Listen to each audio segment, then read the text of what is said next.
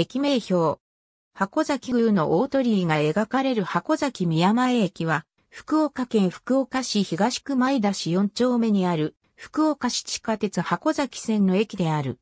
駅番号は H05。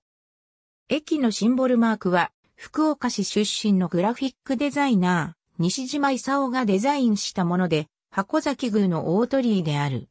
ここではほぼ同位置に存在した西日本鉄道宮地学線の箱崎浜駅についても合わせて取り上げる。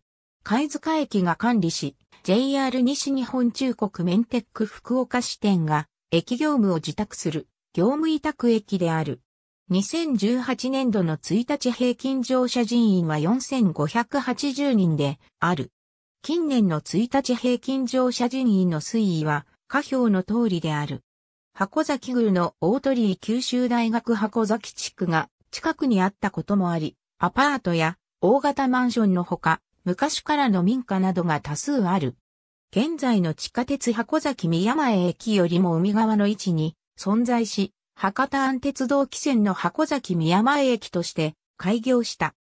西鉄宮地学線の駅となった後、1954年3月5日に、新博多、競輪場前間が標準機に改め記され、福岡市内線に組み込まれた際に、箱崎浜に解消、1979年2月11日の福岡市内線廃止に伴い廃止された。